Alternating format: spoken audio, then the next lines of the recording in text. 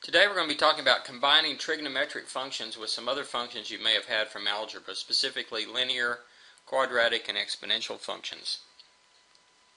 And we're going to combine these by adding and by multiplying.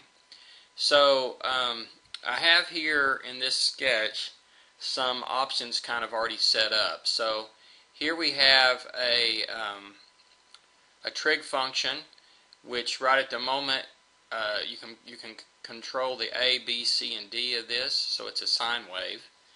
And so this particular function is uh, y equals sine of pi x. Um, so, well, let's just graph that. And notice that this has a period of 2, so it hits uh, the x-axis at all the integer values. So that's kind of a good one for us to start with.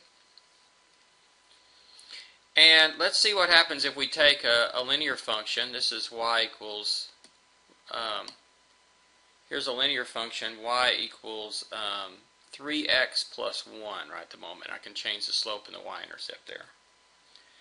Now, what if I add these together? Let's just kind of see what's going to happen.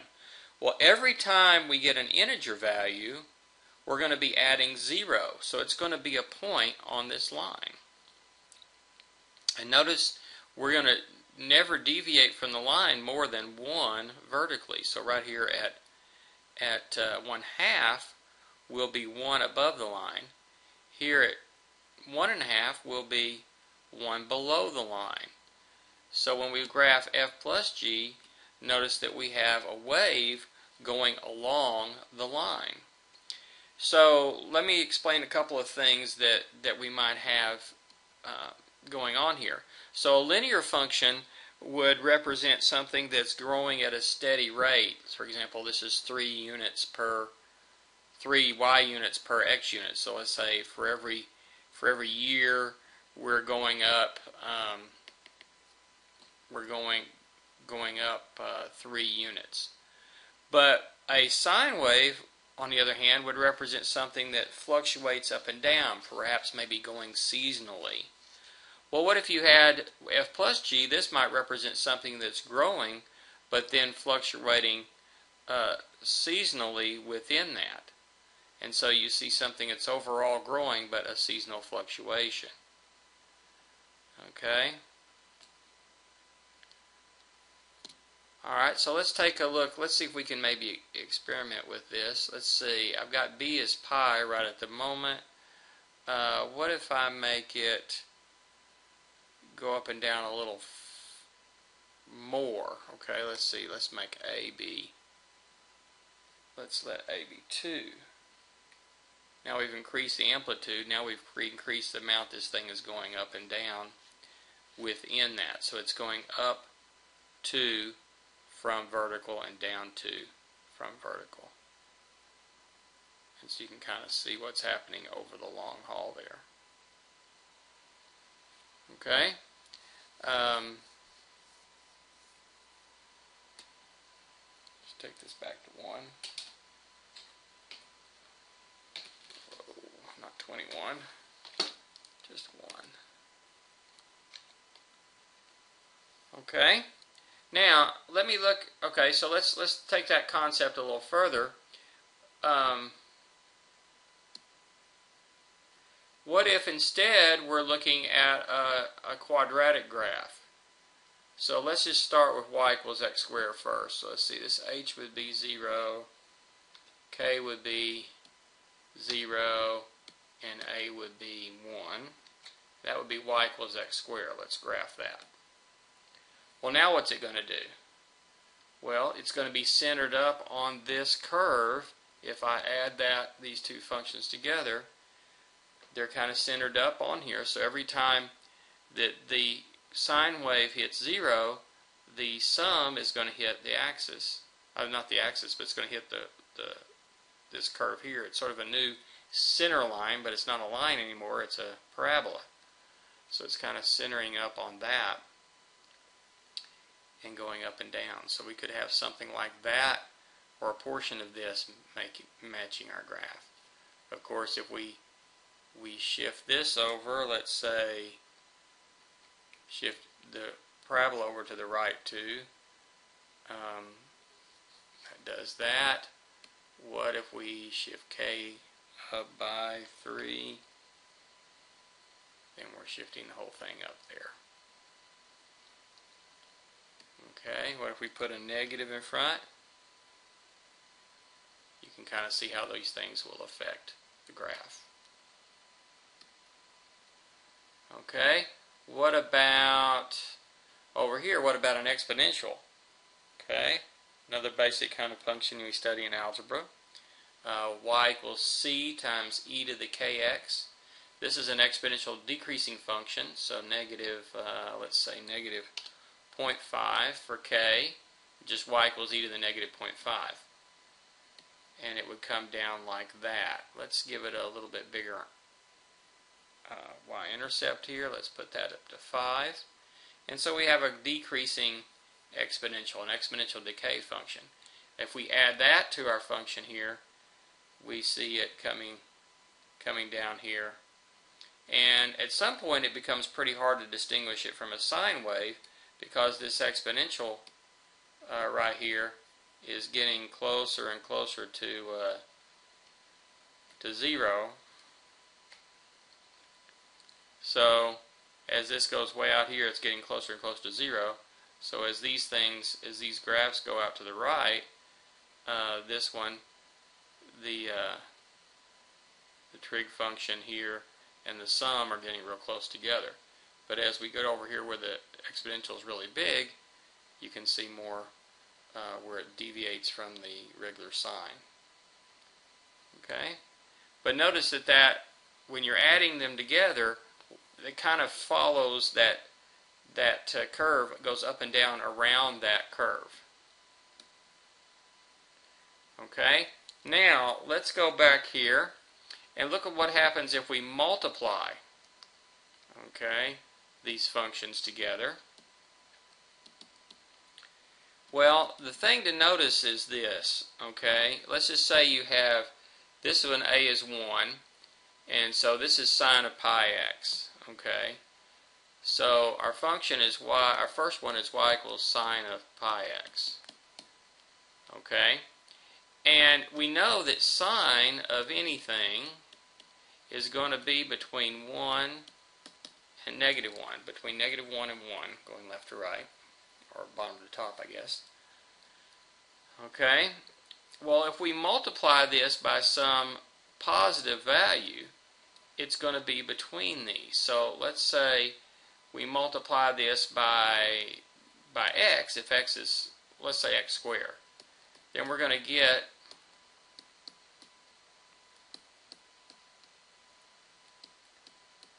sine of pi x between x squared and minus x squared.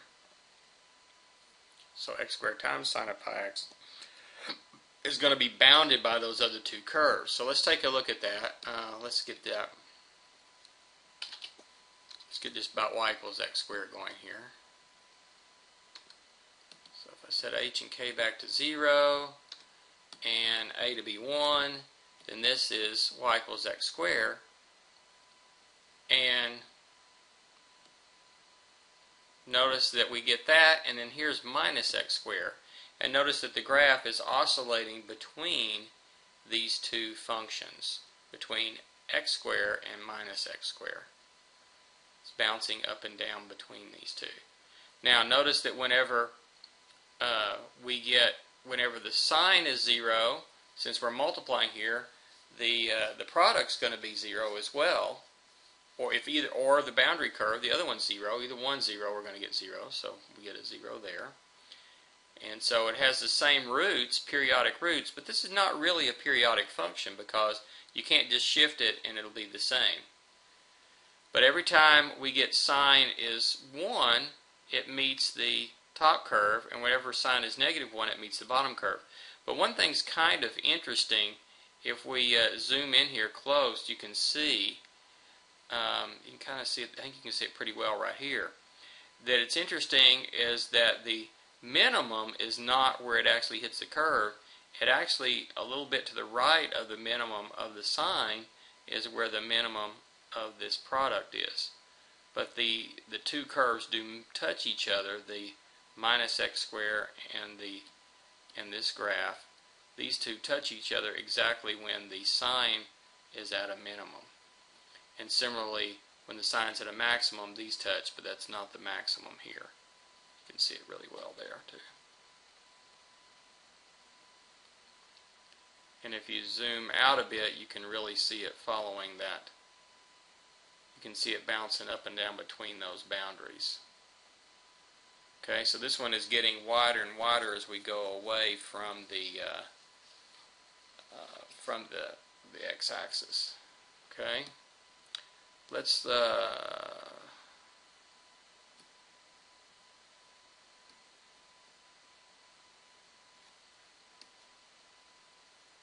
so it looks like that. Okay, let's look at something that let's look at this exponential decay function e to the x and then e to the minus x. And let's uh, let's let it start up quite a bit higher. Let's let it start at 20 and maybe not decay quite as fast. It's faster, sorry.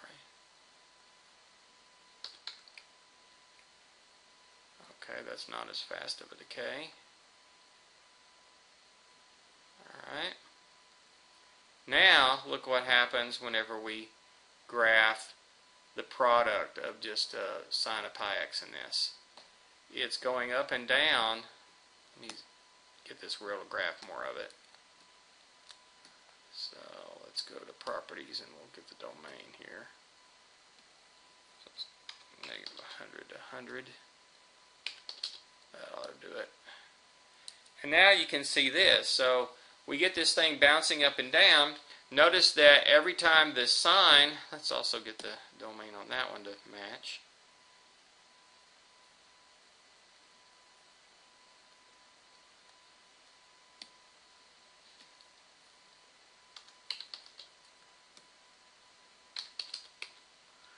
Okay, so the sine is going up and down forever here. Whenever the sine is 0, the product is 0. So these are crossing the x-axis at exactly the same place. In this case, since I've got sine of pi x, this is all the integer values. Is where it's hitting 1, 2, 3, 4, so forth. Okay?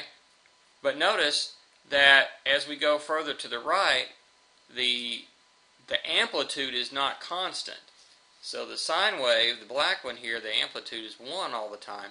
But as you going as you're going here, it starts out really really big over here to the left, bouncing up and down, and then as it comes in this way, it's bouncing up and down less and less and less and less and less. This would be something we would call we would call this damped oscillation. Okay. And it's going in uh, smaller and smaller and smaller as we go further and further out to the right. There you can just see that. And of course, the graph itself is just this graph. And so it's getting smaller and smaller and smaller and smaller and smaller as it goes out to the right. This would be something like a, uh, uh, maybe you had a spring motion, but you had some friction in the spring.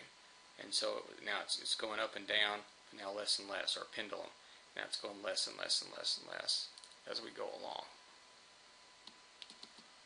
Of course, if this function is exponential, if it's increasing function on the other hand,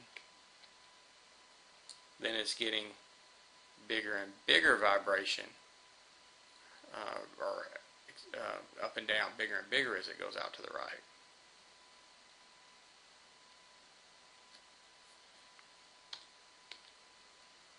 Okay, uh, let's hide that. And look at what happens if we have uh, just a linear one. Let's say we have a decreasing function, negative 3 here, and let's put uh, 15 here.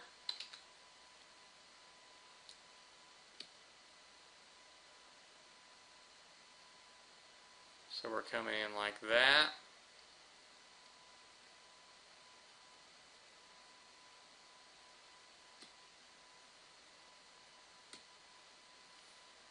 There's the uh, product there.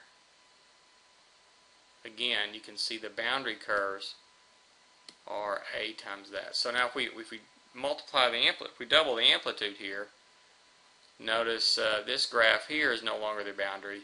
It's A times the, uh, the, the G curve, which is the boundary, and then opposite of that. So this is, uh, see the negative 3 has a slope, this one, but it's times 2. So this is a slope of negative 6. This is a slope of positive 6. And you can see it bouncing back and forth between those two things. So kind of interesting how these things can can can be uh, compared. So one of the places we could see this sum, where we saw something like this. So this might be a long-term decay, uh, but within that seasonal fluctuation. That could represent maybe sales. Hopefully, uh, if it's your company, you want it to be growing, maybe more like that, but a long-term growth within that a seasonal fluctuation. That could be a very possible thing if that long-term growth is linear long-term growth is uh, exponential, uh, then it might look like, um, see, might look more like that. Where it's following an exponential curve.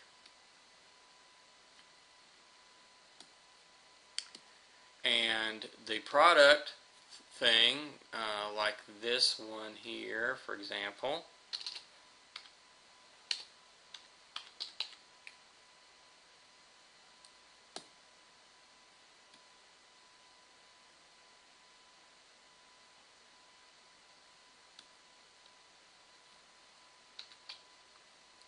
Something like that might represent a um, cyclic or up and down kind of pattern, but where it starts big and gets smaller as it goes along.